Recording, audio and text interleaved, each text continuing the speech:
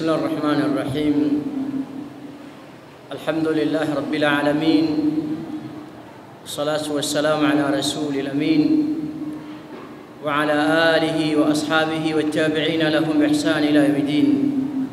أما بعد فإخوة تحية طيبة مباركة من عند الله. السلام عليكم ورحمة الله وبركاته. Watukufu wa Islam, baada ya kumhimidi Allah subhanahu wa ta'ala na kumtakia rahma pamoja na amani Mtume Muhammad sallallahu alayhi wasallam, e, pia nipeleke shukurani kwa uongozi na jopo la mashekhe ambao wameandaa programu maalumu ya kuweza kuwafahamisha watu mambo mbalimbali hasa katika mwaka mpya, mwaka wa Kiislamu.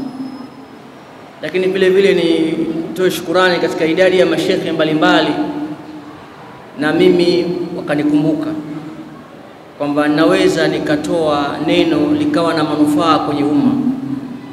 Wallahi, nashukuru sana mashekhe kwa, kwa hili ambalo wamelifanya kuweza kuchagua mashekhe mbalimbali mikoa mbalimbali, mojawapo tukakumbukwa na sisi.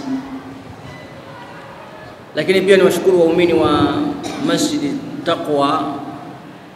Uh, mwaka jana ilipopangwa programu hii, mimi nilibahatika kuja msikiti huu. Inawezekana kutakuwa na mafungamano makubwa baina ya mimi na Masjid Taqwa, na wakati mwingine tuna tunakuwa na dhana njema na majina ya misikiti Masjid Taqwa.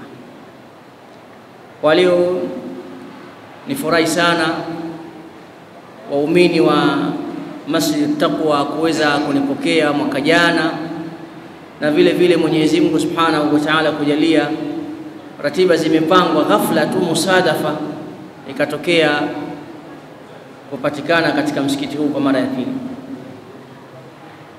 Unwani ya muhadhara, fahamu mambo kumi muhimu katika kalenda ya Kiislamu ambayo ni ya mwaka mpya.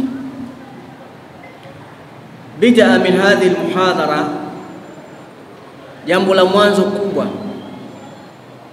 naomba niwafahamishe watukufu wa Islam, al-arab kama dhakara ulamau siyar, Waarabu kama wanavyosema wanawazuoni wa historia kanu la yuwarikhuna bil arkam, ilikuwa hawaandiki kalenda kwa kupitia namba. Kanu yuwarikhuna bil ahdath, ilikuwa kalenda yao wanaweka na matukio.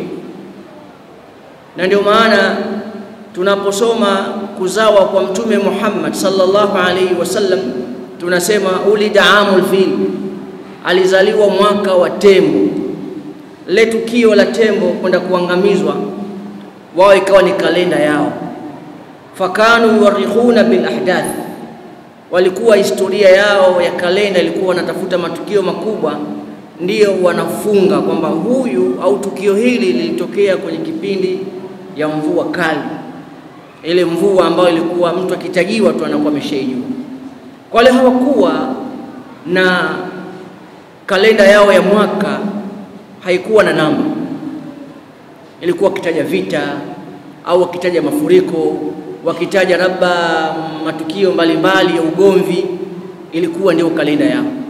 Iliendelea hii kwa muda mrefu sana mpaka Mtume wa Mwenyezi Mungu alayhi salatu wassalam amekufa sallallahu alaihi wasallam, akaja akatawala Abu Bakri na baadaye akaja akatawala Umar bin Khattab radhiallahu ta'ala anhu ndani ya kuandika barua. Ulimwengu umekuwa mpana, barua zinaenda mbali, barua zikaja zikagongana, zote zimeandikwa Shaabani, anaandikiwa Abu Musa al-Ashari radhiallahu ta'ala. Barua moja ilichelewa mpaka kukumbana na barua ya Shabani ya mwaka mwingine, ikawa haitambuliki ipi ndio ambayo imetangulia. Hapa ndio masahabi wakakaa wakaona kuna haja ya kuweka kalenda Kiislamu. Kwa hiyo jambo la mwanzo nilikuwa naomba ulifahamu ndugu yangu Muislamu, hatukuwa na kalenda. Kalenda ilikuwa haipo ya Kiislamu. Tukitaja siku, tukitaja na mwezi kwenye mwaka, twatafuta tukio. Sehemu ya pili ni Waislamu walipokuja kukaa wakaamua kuweka kalenda, na hili jambo la pili ambalo ni muhimu, na mimi nadhani hili ndio lipo katika sehemu kubwa kwenye muhadhara. Rai za masahabi, baadhi yao wakasema tuchukue tarehe ya Wafursi. Masahabi idadi yao kubwa wakakataa. Hadhi lumma laha istiqlaliyataha, huu umma una ile kutokuiga, wa rafdhu tabiia lilakharin, na kukataa kuwaiga wengine. Tuwe na tarehe, tuwe na kalenda ya kujitegemea. Ilipotajwa kalenda ya Waroma, masahabi wakakataa, tutafute kitu. Ikawa ni kitu gani kitafunga kalenda yetu ya Kiislamu, ili ikifika tuhesabu hapa tumeingia mwaka mwingine. Baadhi yao wakasema tuangalie maulidi nabii sallallahu alaihi wasallam, kuzaliwa kwa mtume Muhammad alaihi salatu wasallam, kwa sababu kuzaliwa kwa mtume wa Mwenyezi Mungu ilikuwa ni sehemu kubwa ya kuleta mafanikio duniani. Kwa leo kalenda yetu tuangalie mtume kazaliwa lini, kazaliwa mwezi ngapi, alafu tarehe yetu tuianze na kuzawa kwa mtume Muhammad alayhi salatu wasallam, kama ilivyokuwa kalenda hii ni kuzawa kwa nani? Kwa kuzaliwa Nabiullahi Isa alayhi salatu wasallam. Kwa leo na sisi tuna mtume wetu, tuiangazie tarehe yetu katika kuzawa kwa mtume Muhammad alayhi salatu wasallam. Baadhi yao wakasema la, tuiangazie mtume Mwenyezi Mungu alipopewa utume, kwa sababu kuzawa, maisha ya kuzaliwa na maisha ya kupewa utume, yapi bora? Yapi bora, watukufu Waislamu? Kuzawa au pale kipindi mtume kapewa utume na Allah, yapi bora eh? Utume.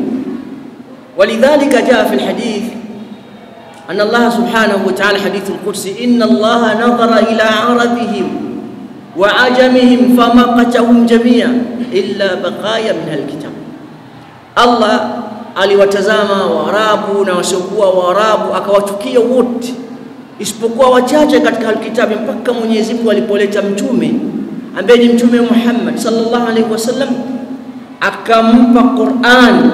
Kipindi hichi ndicho ambacho kilileta nuru katika dunia. Kwa leo tuangazie tarehe yetu tangu mtume alipopewa utume sallallahu alaihi wasallam. Baadhi yao wakasema hapana, tarehe ya mtume wa Mwenyezi Mungu tuianzie na Badri, mtume aliposhinda vita vya mwanzo. Mwisho rai za masahabi akiwemo Umar bin Khattab, Uthman bin Affan, Ali bin Abi Talib wakaona tarehe ya Kiislamu ianze fungo nne. Allahu akbar! Na ndugu yangu, wallahi, ukijua hasa hivi vichwa vya masahabi, vichwa vilivyokuwa salama, wenyewe wanasema wataalamu, idha saluha ras laisa ala aljismi bas, kichwa kikiwa salama mwili hauna neno. Wajua, unaweza kufanyiwa operation zote, ukakuta mtu ana mkono nusu, ukamkuta mwingine hana mguu na mguu mmoja, lakini kukuta mtu atembea kichwa hana, hakuna operation hiyo. Idha saluha ras laisa ala aljismi bas, vichwa vikiwa salama mili inakuwa haina yeye. Vichwa salama hivi vikaamua kalenda iwe ni tarehe mfungo nne, mwaka mpya ianze kalenda Kiislamu. Hili ni tukio namba mbili ambayo masahabi wakataka istiklalia, waachane na kalenda nyingine, waanze kalenda yao, isipokuwa tu tuanze lini? Tuanze mfungoni, na hii itatupelekea watukufu wa Islamu katika nukta ya tatu, limadha shahrullahi lmuharram, kwa nini mfungo nne? Kwa nini sio mfungo sita? Kwa nini sio mwezi mtukufu wa Ramadhani, mwezi wa hidaya, mwezi umeshuka Qur'ani, mwezi una mengi? Kwa nini sio mwezi mtukufu wa Ramadhani ikawa mwezi wa mfungo nne? Mwezi wa mfungo nne una mambo mengi mazuri. Moja katika baadhi ya hikama ambazo zimetajwa, mwaka wa Kiislamu uanze katika mfungo nne kwa sababu nyingi. Moja wao tuumalize mwaka tumalize mwaka wetu uliopita katika tukio la ibada kubwa, ibada ya haji. Maanake twamaliza mwaka mpya mwezi wa kumi na mbili ni Dhulhijja ambao ni mwezi mtukufu. Tuufungue mwaka mpya na mwezi mtukufu ambao ni Muharram, tuishi kwenye ibada mwaka mzima, kana kwamba twaumaliza mwaka mpya, twaumaliza mwaka uliopita kwa kufanya tauba. Wale wanakwenda haji, wale wengine wana masiku kumi wakiwa katika maeneo yao, kuna siku ya Arafa na kufanya maombi mbalimbali, kama tunaumaliza mwaka, mwaka uliopita na kumwomba Mwenyezi Mungu msamaha, na tunapokea mwaka mwingine mpya ambao shahrullah al-Muharram wa kufanya matendo mazuri mbalimbali. Na ndio maana utakuta mwaka wa Kiislamu huwezi kukuta sijui magari ya mawashawasha, sijui mapolisi, vitu gani. Mwezi umekaa amani kabisa, kwa sababu unafungwa mwaka uliopita na mwezi mtukufu, unafunguliwa mwaka mpya na mwezi mtukufu, kama alivyosema Mtume sallallahu alaihi wasallam, as-sanatu 12 shahra, mwaka una miezi kumi na mbili minha arba'atun hurum, ndani yake kuna miezi minne mitukufu. Thalathu mutawaliyat, miezi mitatu imefuatana, ambao ni Dhulqaada, ni mfungo pili, wa Dhulhijja wa shahrullahi muharram, hii imefuatana, alafu wa Rajab mudha, au kama qala sallallahu alaihi wasallam. Kwa hiyo umechaguliwa mwezi wa mfungo nne, tumalize mwaka uliopita ndani ya mwezi mtukufu, tufungue mwaka mpya na mwezi mtukufu. Lakini pia watukufu wa Islamu, hivi vichwa vilikuwa salama, vilikuwa na uone wa mbali sana, kwa sababu wa... ndio mwezi watu wengi wanatoka haji, masafa ya kutoka Maka mpaka watu wafike mijini mwao, mara nyingi inakuwa ni mfungo nne. Kwa hiyo watu wametoka wamekwenda kusafisha madhambi yao, wakirudi wapokee mwaka mpya. Bimaana Muislamu asimalize mwaka akiwa ana machafu ya mwaka uliopita. Unapokea mwaka mpya ukiwa msafi. Watukufu Waislamu, nukta ya nne katika muhadhara wetu huu kulikuwa na hikima gani huu mwaka wa Kiislamu ufungwe na kuhama? Kuhama kunaonyesha udhalili. Mtume alikuwa anakimbia. Kwa nini masahabu walichagua kuhama? Hawakuchagua kipindi cha cha kuonesha ushujaa, vita vya Badri, Uislamu wameshinda. Kwa nini walichagua kipindi mtume wa Mwenyezi Mungu zamanul mutarada kipindi mtume wa Mwenyezi Mungu anafukuzwa, bali mpaka anatoka Makka, mtume wa Mwenyezi Mungu analia alayhi salatu wassalamu, yakulu ya Makka inni la a'lamu annaki ahabbu ardhullahi ila Allah, e Makka, mimi najua kwamba yeye ndio ardhi bora unaopendwa na Allah. walaula anna qaumi akhrajuni minki makhraj, lau kama jamaa zangu wasingenitoa mimi singetoka. Kwa maana hiyo kulikuwa na hekima gani masahabi wakaufunga mwaka wa hijri, mwaka wa kalenda ya Kiislamu na kuhama? Wal ilmu indallah.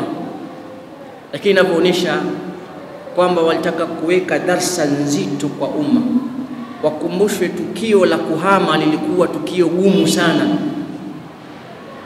Mtu anahama anaacha vitu vyake vyote kwa ajili ya Allah, bimaana kama vile libaki katika akili yetu kalenda hii, kila tukisema kadha kadha hijri tarehe ngapi, tutakumbuka kuna watu walihama wakaacha mali zao, wakaacha familia zao, wakaacha ardhi yao kwa ajili ya dini.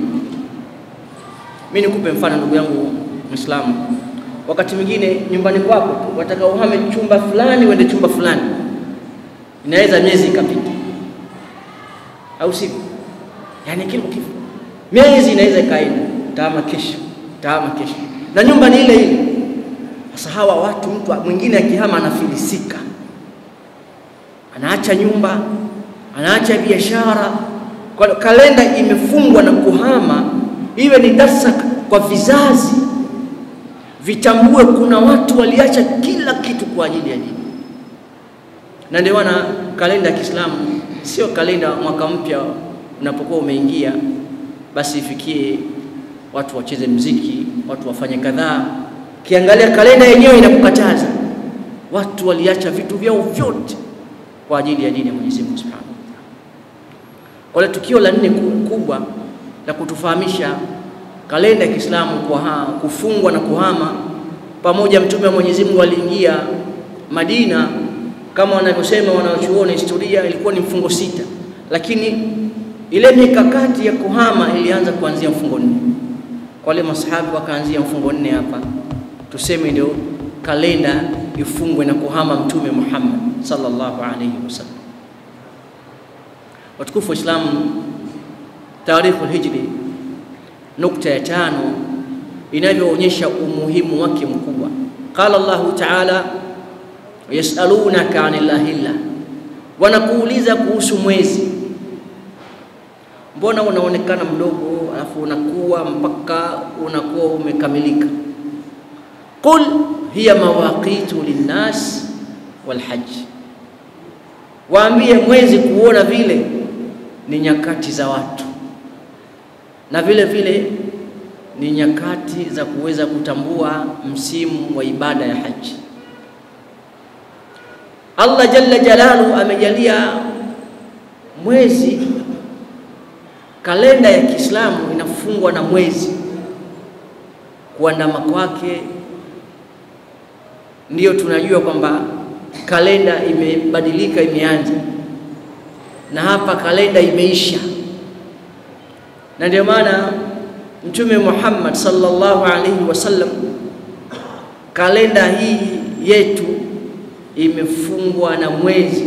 sumu liruyatihi wa aftiru liruyati, fungeni kwa kuona na fungueni vile vile kwa kuona. Bali vile vile Mtume sallallahu alaihi wasallam amefikia akisema kwamba nahnu ummatun ummiya, sisi ni watu tujui kusoma. Ilikuwa ni miujiza Allah aliumpa Mtume Muhammad sallallahu alaihi wasallam, asema sijui kusoma wala sijui kuhesabu, lakin ashahru hakadha, mwezi ni hivi, wa hakadha wa hakadha. Akafanya mikono yake hivi Mtume Mwenyezi Mungu mara tatu, akikusudia mwezi ni siku thalathini, au hakadha wa hakadha thumma khanasa ibhama, ukisha Mtume akakunja kidole chake cha umma. Kwamba mwezi ni siku 30 au siku 29 sallallahu alaihi wasallam. Kwa hiyo kalenda ya Kiislamu imefungwa na kuandama kwa mwezi, na watukufu wa Islamu, katika jambo ambalo nitaka nilizungumzie katika nukta namba tano, hii kalenda ya Kiislamu kuwekwa mbali na majali alhaya, kutokuonekana kwenye maisha yetu, sijui kulipa bili za maji, sijui bili za nini, nyumba za kupanga, vitu gani, yote ikawa imewekwa mbali. Wanatambua ikiwekwa karibu, hii kalenda ina athari kubwa kwenye maisha yetu. Mojawapo ni ile kujikumbusha siku yetu ya leo kwamba hii tarehe imefungwa na kuhama. Tutambue kuna viumbe waliacha kila kitu kwa ajili ya Allah subhanahu. Mtu anaondoka na kwenda Madina, kuna fulani anachukua vyombo vyake anafanya nyumba ya sahabi ni ya kwake, anaambiwa Madina kule, bwana wewe huna nyumba wala msikitini, kuna mwenzako kahamisha vyombo vyake kaingia kwenye nyumba yako, anaumia. Lakini hifdhan lidini, kwa kuhifadhi dini yake hawezi kurudi, anabidi abaki sifra liyadaini, Kwa hiyo hii kalenda kuwekwa mbali, ilikuwa kuna makusudio makubwa sana ku, kuondosha huu umma na historia ya kalenda ya Kiislamu, kwa sababu kubaki kwetu na hii kalenda, kuna vitu vingi sana inawezekana vitakuwa na athari katika maisha ya Muislamu. Qala Allahu taala alhaju ashhurun maalumat, haji ni miezi maalum imefungwa na mwandamo. Alhaju ashhurun maalumat, hija ni miezi maalum. Kwa ikiwa ibada zote kubwa zote, bali mpaka zile ambazo unaona kama kama vile hazikufungwa na mwezi, kama ibada ya zaka. Zaka mtu zakona mimi nitatoa kila mwezi wa 12 mimi kila mwezi wa 12 napiga mahesabu yangu, wanasema hata ukitoa zaka kwa kalenda isiyokuwa ya Kiislamu utajikuta kwamba kwa mahesabu utakuja jikuta kuna baadhi ya miaka imepita, we hujatoa zaka, basi miaka mmoja miaka miwili, lakini kwa kalenda ya Kiislamu vile ilivyo na ukamilifu wake, ukaiacha ukaona kwamba hii hii nitafanya zaka nitatoa mwezi wa kumi na mbili au nitatoa Januari, ikawa ukaishi miaka ishirini, kila Januari unatoa zaka yako. Kuna baadhi ya miaka itakuwa imekupita wewe haujatoa zaka. Hizi ni ibada zimefungwa na muandamo. Mimi kabla ya kwenda mbali, siku moja kuhusu mambo ya muandamo ilivyokuwa na uzito sana, semekana Anas bin Malik akiwa Iraq shakuwa mtu mzima sana, na aliombewa dua na Mtume sallallahu alaihi wasallam. Hivi mnajua katika Uh, sahabia ambaye alikuwa na akili za mbali sana, pamoja na masahaba wote wanavuoni kwa mbali, lakini mamake Anas, Mtume kaingia Madina, kila mmoja aleta zawadi, huyu aleta hichi, huyu aleta hichi, huyu aleta hichi. Mama yake Anas akamjia Mtume wa Mwenyezi Mungu, ya Rasulullah, umeshapewa zawadi nyingi sana, mimi nimechelewa, lakini zawadi yangu ya Rasulullah, nakupa huyu mwanangu, huyu chukua.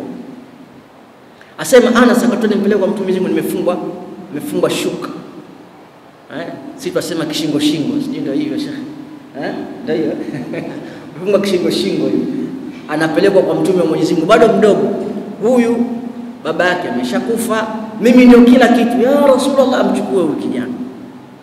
Anas analelewa nyumbani kwa mtume sallallahu alaihi wasallam, miaka inaenda, asema mtume kaniombea mambo matatu.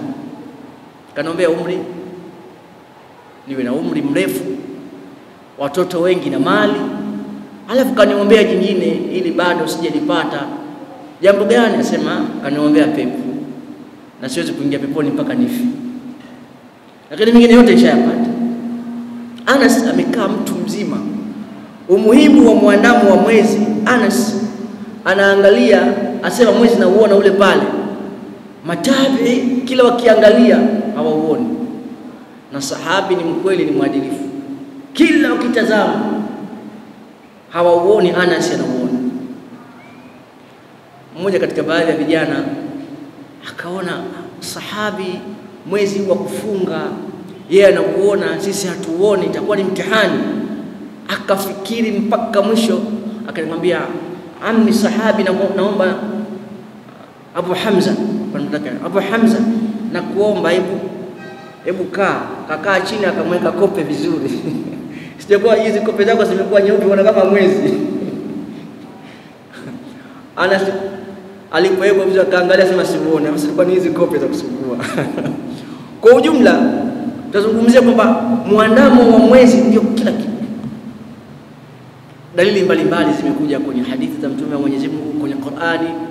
Moja ni hii, masahaba alikumwambia wayasalunaka anil ahilla qul hiya mawaqitu linnas. Mawaqitu linnas wal hajj. Watukufu wa Islamu, katika jambo la sita ambalo ni muhimu sana na tukumbusha tarehe ya hijri katika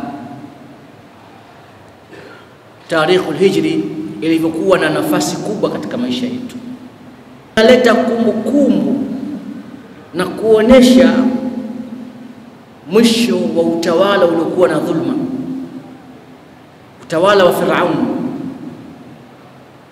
Mtume wa Mwenyezi Mungu alayhi salatu wassalam anatoka Makka na kwenda Madina na wakuta Mayahudi kuna siku wanafunga. Mtume akawauliza katika hadithi ya Abdullah ibn Abbas, hii siku nini mnafunga? Asema asema dhalika yaumun salih, hii ni siku nzuri. Aghraqa Allahu fi fir'auna wa qauma, Mwenyezi Mungu alimwangamiza Firauna na watu wake. Hii ni siku nzuri kwetu. Faqala an-nabiy sallallahu alayhi wasallam, nahnu aula bi Musa minkum, sisi tuna haki zaidi na Musa kuliko nyinyi. Fasamahu an-nabiy sallallahu alayhi wasallam wa amara an-nasa bisiyami, Mtume wa Mwenyezi Mungu akafunga na akaamrisha watu wafunge kushukuru kwa tukio lile kubwa la mtawala ambao ilikuwa anayodhulumu watu, anayechinja watoto, kafanya matukio makubwa sana. Na kama utasoma, ngoja niwatajie sura sura tatu. Sura ya mwanzo ambayo katika zile sura ambazo zinahesabika ni juzuu ya 30 juzuu ya amma, kuna sura karibu tatu ambazo zimemtaja Farauna kwa jina. Suratul Naziat. Suratul Naziat ukiitazama hili jina tu nazungumzia wale malaika wenye kutoa roho za watu waovu wa kwa nguvu, nazaati gharq. Ndani yake kataja Firaun, idhhabu ila firauna innahu tagha. Lakini sura ya pili Suratul Fajr. Suratul Fajr kana kwamba ni dalili kile kiza, ule usiku mnene wa dhulma umeisha, imeingia alfajiri sasa ya kupata afueni watu. Ndani yake alam tara kaifa faala rabbuka biad irama dhati limad allati lam yukhlaq mithluha fi lbilad wa thamud alladhina jabu sakhra bilwad wa firauna dhil autadi alladhina taghaw fi lbilad. Nani ya hizi sura ukiziangalia, kama wanavyosema wanavyoashiria baadhi ya wanachuoni, alfajiri imeingia ya kuondokana na dhulma, kiza kinene kimeisha. Sura nyingine Suratul Buruj, hal ataka hadithul junud firauna wa thamud. Kwa ilikuwa hizi sura ukizitazama tu vile Mwenyezi Mungu alivyozianzia na ndani yake kumtaja Firaun, zilikuwa zinaonyesha ni utawala ulikuwa ni aina gani. Suratul Buruj inazungumzia kuhusu nyota, mbingu yenye nyota, sayari mbalimbali. Ndani yake akatana Firaun kama alijidai ana nyota, anaashiriwa na Allah, wassamai dhatil buruj. Kama una nyota nyingi, angalia basi mbingu, sababu wakati mwingine unaweza kuwa una nyota mbili tatu tu ukafanya jeuri. Wasamai dhatil buruj, alafu vikatajwa viapo mbalimbali. Mwisho Allah jalla jalalu akaja kumalizia sura na kumtaja Firaun, hal ataka hadithul junud firauna wa thamud. Kwa hiyo ndani ya tarehe ya kalenda Kiislamu kuna mwangaza mkubwa sana wa kuonesha utawala wa dhulma namna gani unavyokuwa ulivyoondoka, na hii ni dalili kama Firaun aliondoka na machafu yake mengi aliyoyafanya, ni dalili ya wazi. Kama alfajiri imechomoza, basi ni dalili kwamba waja wema Allah subhanahu wa ta'ala ataweza kuwaletea uadilifu na atawaletea utawala ambao unawezekana unaweza ukaondosha dhulma mbalimbali popote pale walipo. Pamoja eh, jiji la Dar es Salaam lina mengi, lakini kwa, kwa mimi kwa uongozi wa, wa rais wetu tunatakiwa tumwombee dua sana sana. Si tuna kawaida mimbari zetu zina ukame sana na kuombea viongozi pamoja. Viongozi wanafanya mazuri mengi, bali siku moja mimi nilizungumza kasema kwamba viongozi waliopita karibu wote waliomba madaraka isipokuwa huyu. Huyu kaletwa na Mungu. Mifumo iliyowekwa Allah ndio kamleta, hakuangaika kutafuta urais. Allah jalla jalalu shakumetolea macho sana wantishi, hakuangaika. Allah jalla jalalu ndio kaja kamweka hapa, na utawala huwezi kuja peke yako. Qul allahumma malika almulki tu'ti almulka man tasha, e mfalme wa falme unampa utawala ule unamtaka,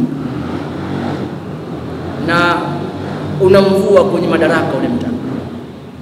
Watuizzu man tasha, unamnyanyua unayemtaka, Watudhillu man tasha biyadika alkhair innaka ala kulli shay'in qadir.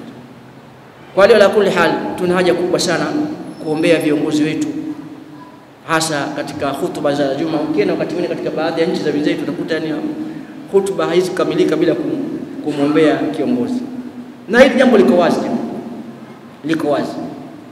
Wewe mpaka imekuja katika Imam Muhammad sema hivi, lau kanat liya da'watu mustajaba, lau kama ingekuwa na maombi ambayo Allah anayakubali dua, basi ingemwombea kiongozi, kwa sababu wema wake ni wema kwa raia wengi sana. Kama ingekuwa kuna maombi ambayo nikimwomba Allah Allah nikubalia, basi ningeombea kiongozi, kwa sababu akikaa vizuri yeye, takriban taifa zima limekaa vizuri.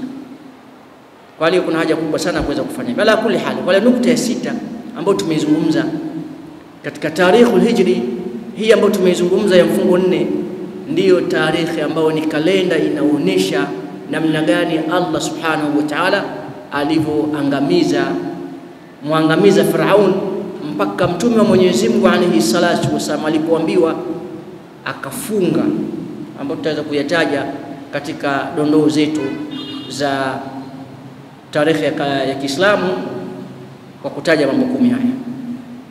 Watukufu wa Islamu, katika baadhi ya vitu ambavyo vinaonekana vina uzito mkubwa sana katika maisha yetu.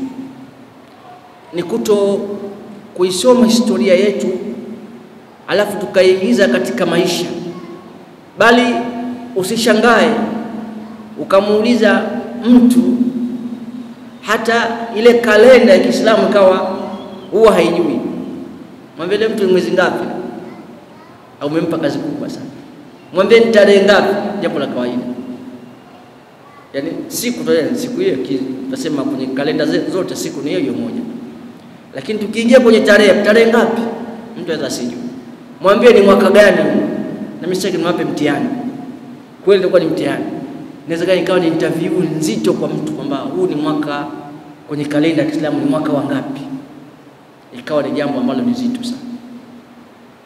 Je, nukta ya saba katika muhadhara wetu huu, waliotengeneza waliokaa masahabi wakafanya shura kuamua kutengeneza kalenda ya Kiislamu. Watukufu wa Islamu, kulikuwa na kitu kikubwa ambacho kinatajwa na wanazuoni, itizaz bihadha dini. Kulikuwa na ile kujifaharisha na hii dini ambayo wameibeba, kujiona kwamba ni lazima Uislamu upo juu, uwe na mifumo yake ilikuwa mtu akiingia kwenye Uislamu, jambo la mwanzo aachana na mifumo yote. Qala Allahu Ta'ala, Allah akizungumzia kuhusu masahabi, inna safa wal marwata min sha'airillah, hakika Safa na Marwa ni katika shaira zile ibada ambazo Allah ameziamrisha. Wanasema aya hii kushuka, masahabi walikuwa kabla ya Uislamu walikuwa wakienda mbio zama za jahilia, safara mau. Uislamu ulipokuja ile ibada ikabakishwa,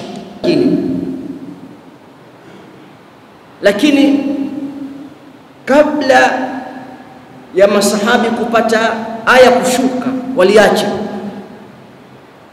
wakaona hii ni katika mifumo ya jahilia, mifumo ambayo ilikuwa haipo kwenye kwenye Uislamu. Lazima Uislamu mtu akiingia abebe mfumo mpya.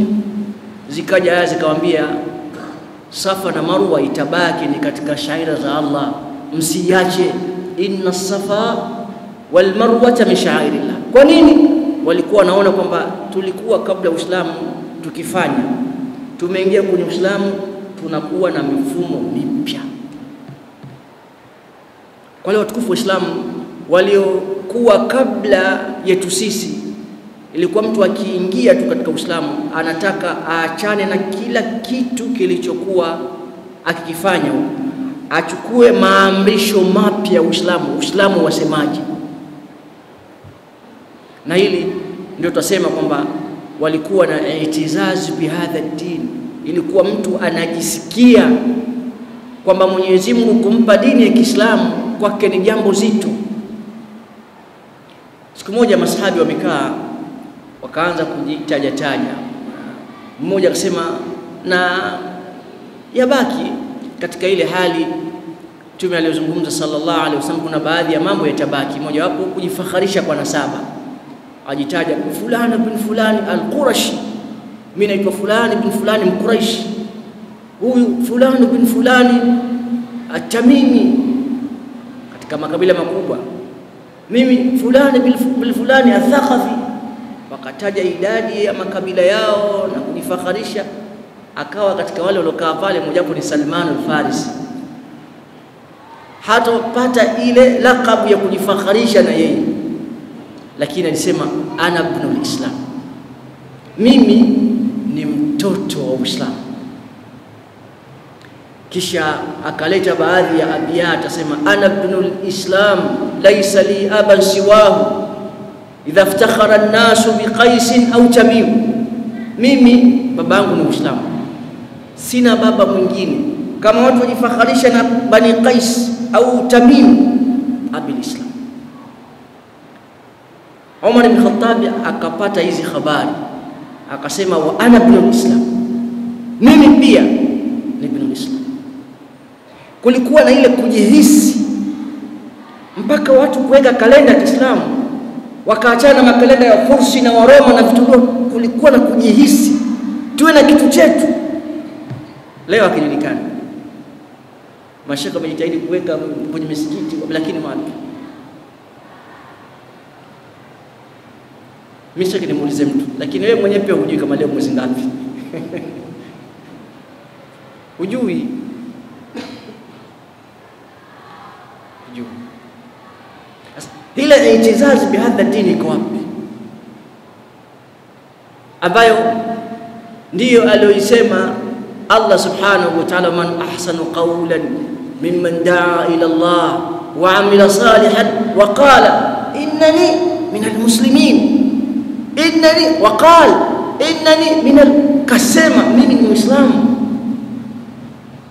Kwa leo mpaka kutafuta kitu angalau kiwe na uspesho kiwe cha Kiislamu ni dalili ya watu walikuwa hawataki kuiga, hawataki mifumo, hata kalenda. Kwani kalenda si namba tu, lakini walikuwa wanajua kalenda hii na umuhimu gani kwa Waislamu na kizazi, bali dalili kubwa wakaifunga na kuhama. Tukasema kwamba dalili kwamba watambue vizazi vitakavyokuja kwamba kuna watu waliacha ardhi yao, wakaacha makazi yao, wakaacha kila kitu kwa ajili ya dini. Bali mpaka imekuja katika riwaya Mtume sallallahu alaihi wasallam sema hivi, mala Allahu qala laana Allahu quraishan akhrajuna min ardina ila ardhi lwaba, Mwenyezi Mungu awalani makuraishi wametoa kwenye ardhi yetu nzuri wakatuleta kwenye ardhi na maradhi mengi. Masahabi waliumwa kwelikweli walipofika Madina, mpaka Mtume akasema, na yote ilikuwa ni haninu ila alwatan, bado watu wana ile simanzi ya nyumbani. Laana Allahu quraishan akhrajuna min ardina ila ardhi waba, Mwenyezi Mungu walani makuraishi umetoa kwenye ardhi yetu nzuri wakatuleta kwenye ardhi ambayo ina maradhi mengi. Bali mpaka imekuja katika riwaya Mtume wa Mwenyezi Mungu akaomba dua, akaiombea dua Madina kwa Mwenyezi Mungu aondoshe maradhi katika eneo lile. Ikaja riwaya Mtume siku moja amelala usiku, akaota kuna mwanamke mmoja bibi kizee anatoka pale akaenda akaishi sehemu inaitwa Juhfa. Mtume wa Mwenyezi Mungu alipoamka asubuhi akafurahi sana, akamwambia jamani, nimeota ndoto kadha na kadha. Akaambia umeifasiri vipi? Asema nimeifasiri ni maradhi yameondoka. Na kweli ile ishara yule bikizee kuondoka na Jofa, palikuwa na watu pale, ule mji umekufa. Sasa ule mji umekufa, maana kuondoka Madina kwenda pale kama vile ilikuwa ni kwenda kuwamaliza wale, na wakasema wanachuoni mpaka kwenda pale kwa ilikuwa ni ardhi hapana watu wema. Ardhi ya Madina ikawa safi na maradhi mbalimbali. Kwa ile nukta ya saba, watukufu Waislamu walikuwa hawa watu walikuwa na itizazi bihadha din, walikuwa kule kujidai na kujiona, na ndio maana wakaona kila kitu Uislamu kiwe na kitu ambacho chajitegemea wale Muislamu haitendei haki dini yake ikiwa hawezi kuipa Uislamu nafasi yake. Hivi mnajua watukufu wa Uislamu, Uislamu ulivyokuwa umempa nafasi Muislamu na ile kujifikia mpaka kujiona, haitakiwi tuwape upande mwingine hata nguvu ya kuona si twawaiga hata nguvu ya kitu kidogo. Uislamu waliokuwepo walikuwa hawataki. Mimi nitakupeni mfano.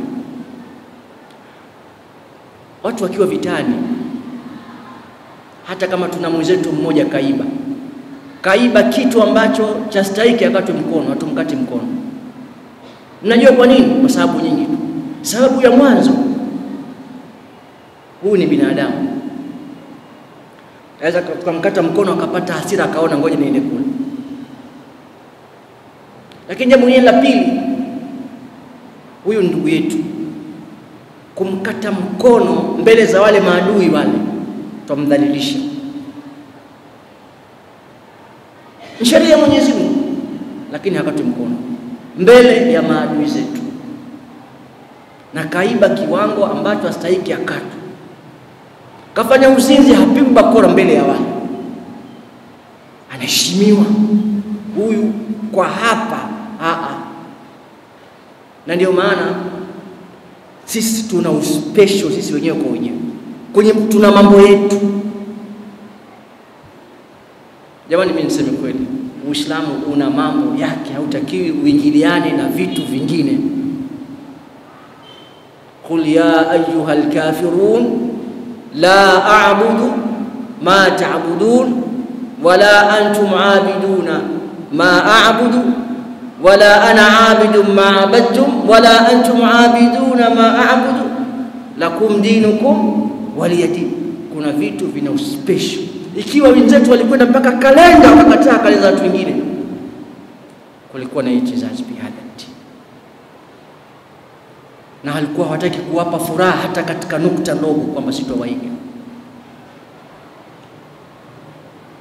Kwa hiyo hatumpigi mpaka Mwenyezi Mungu alipozungumzia hivyo, azaniyatu wazani fajlidu kulla wahid minhuma miata jalda wala ta'khudhukum bihima ra'fatun fi dinillah, lakini walyashhad adhabahuma ta'ifatun min almu'minin, washuhudia adhabu hiyo ya wanaopigwa wawili hao, kundi waumini tu watu, asiingie mtu mwingine. Hatutaki jicho la mtu mwingine, sisi wenyewe kwa wenyewe hapo waliyashhad adhabahuma taifatu min almuminin.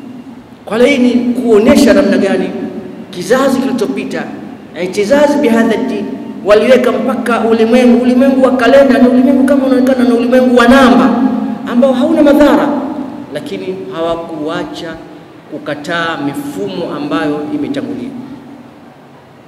Nukta ya nane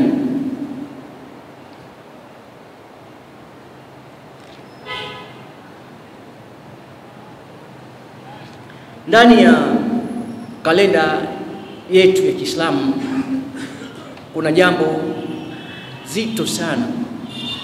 Fungu nne, kule kuchaguliwa pia ulichaguliwa kwa sababu ni mwezi mtukufu ambao ashaddu hurma, ni mwezi mtukufu ambao uharamu wake wa kufanya machafu ni mkubwa zaidi kuliko miezi yote. Imekuja hadithi ya Mtume sallallahu alaihi wasallam akisema kwamba afdhalu siyam baada shahri Ramadhan, funga bora yenye malipo makubwa baada ya mwezi mtukufu wa Ramadhan, siyamu shahrullahi almuharram, ni kufunga mwezi wa Allah, mwezi wa Muharram, funga yenye malipo makubwa. Ukimaliza Ramadhani, basi hakuna funga yenye malipo makubwa kama kufunga mwezi wa Muharram. Wanawazuoni wakasema miezi yote haikuegemezwa kwa Allah. Utasema sijui eh, Rabiul Awwali, Rabiul Thani, Jumada al-Ula, Jumada al-Thani, eh, Rajab, Shaaban, Ramadhan, Shawwal, Dhulqaada, Dhulhijja. Itaje yote haikuegemezwa na jina la Allah isipokuwa sharum sharum Muharram, shahrullahi almuharram, mwezi wa Allah.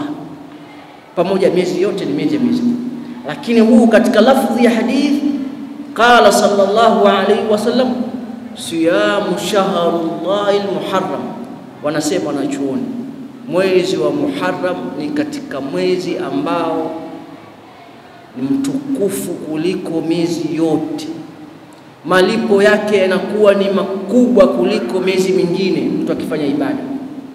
Na funga ya Ramadhani ina malipo makubwa kwa sababu ni ya faradhi.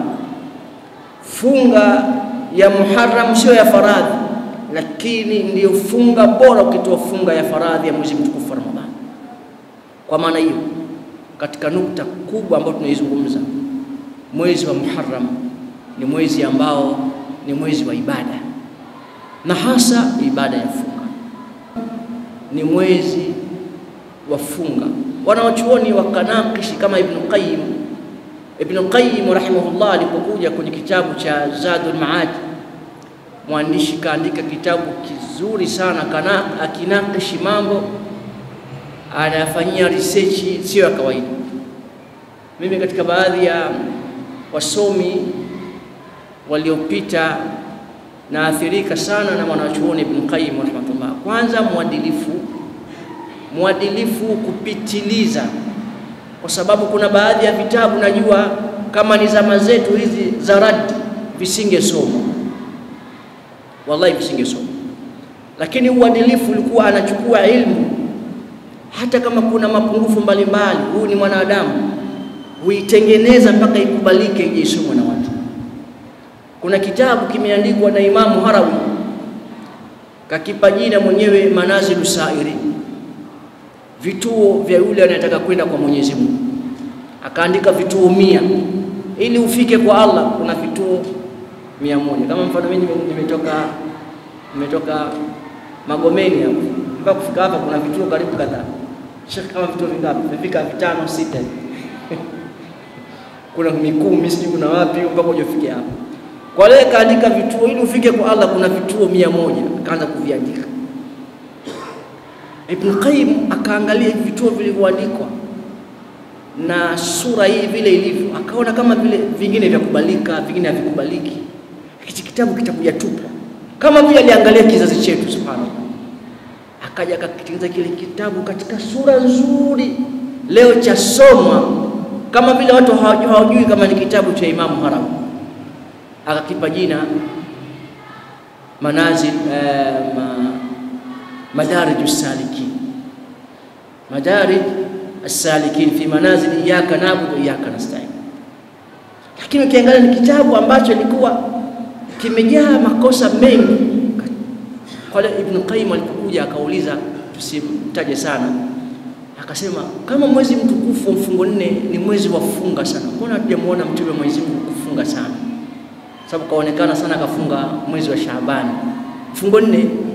Maisha ya mtume Mwenyezi Mungu hajaonekana kufunga sana. Akaanza kutoa hoja mbalimbali mbali. Lakini nyingine kama mwezi wa mfungo nne una malipo makubwa, mbona mtu kufunga hiyo Ashura kusamehewa madhambi ya mwaka mmoja tu? Kuna Arafa huku madhambi ya miaka miwili. Akanakishi vizuri sana, lakini mwisho akasema kwamba mtume wa Mwenyezi Mungu inawezekana hakufunga mwezi wa mfungo nne sana, kwa sababu yeye ni kiumbe na ni kiongozi. Inawezekana kulikuwa na matukio mbalimbali yamemshughulisha mpaka mtume asifunge sawa. Inawezekana mwingine bado ni masafari mbalimbali labda toka vitani, kwa sababu hakuna vita. Lakini inawezekana yuko ndani ya safari, toka masafa ya mbali kurudi Madina, yuko ndani ya safari. Akasema inawezekana ikawa ni sababu ya mtume Mwenyezi asifunge mwezi wa mfungo wa mfungo mfungo nne. Nukta ya tisa, kabla ya kumalizia muhadhara wetu, nami nitamani nimalizie mapema ili tufanye muda wa muhadhara au muda wa masali pamoja na adhana. Nukta ya tisa ambayo tunatakiwa tuitambue katika kalenda yetu ya Kiislamu, na hii ni nukta ambayo lau Muislamu ataweza kuichukua ataondoka na mafunzo makubwa sana. Allah kukupa umri mpaka ukaufikia mwaka mpya, watakiwa ushukuru neema ya umri. Aliulizwa Mtume wa Mwenyezi man khairu nas, qala man tala umruhu muhasuna amal, nani mbora wa watu? Akasema ni yule ambaye umri wake utakuwa mrefu na matendo yakawa mazuri. Mbora wa watu umepewa umri mrefu, matendo yakawa. Kinyume chake, nani shari wa watu? Ni yule atakapewa umri mrefu, matendo akawa mabaya. Kwa hiyo kuudiriki mwaka mpya wa Kiislamu ni fursa kwa kubwa sana, bali ni fursa ya kuangalia Mwenyezi Mungu umri aliyokuacha, kakuacha sana. Kuna wenzako wangapi wameondoka, wengine bila kuumwa, wengine wameondoka chini ya umri wako. Wakati mwingine mtu anapelekwa hospitali, kaptiwa ndani ya gari, kabakisha mapigo kumi na mbili, dereva hajui, nesi hajui, mbio kabisa na ving'ora, kumbe kuna mapigo kumi na mbili yamebaki. Kifika huu tayari na anejua ni Allah subhanahu wa ta'ala. Allah kukupa umri mwaka mzima mfungo nne mpaka uje kupana mfungo nne mwingine, mshukuru Allah subhanahu wa ta'ala. Wala mimi namshukuru Mwenyezi Mungu, mwaka jana nilikuwa hapa kwenye muhadhara hapa, na mwaka huu niko hapa. Naomba Mwenyezi Mungu matukio ambayo yalipita katika mwaka mzima huu, naomba Mwenyezi Mungu atusamehe na tuufungue mwaka huu mwingine kwa kufanya matendo mazuri. Nimalizie nukta ya mwisho katika kalenda ya Kiislamu. Mwanadamu kila muda atakiwa ajifanyie muhasaba, kila muda atakiwa ajihesabu, lakini mahesabu ya kila siku, mahesabu ya kila wiki, kila mwezi hayaachi kila mwaka kujifanyia tathmini, bali Ibn Qayyim rahmatullahi alayhi katika baadhi ya maneno aliyozungumza katika hichi kitabu cha Madarij Salikin ametaja katika baadhi ya mambo ambayo ni muhimu mtu atakiwa kuyafanya kila baada ya muda, akae na nafsi yake ajifanyie muhasaba, ajihisabu. Bali sio kujihisabu, tunatakiwa ujifanyie mambo matatu. Watakiwa kwanza ujihesabu, ukikuta makosa ujilaumu, ukiona nafsi haikomi ujiadhibu. Na hii ya kujiadhibu ameitaja mwanachuoni Ibn Qudama rahmatullah alayhi, asema nafsi wakati inatakiwa uiadhibu,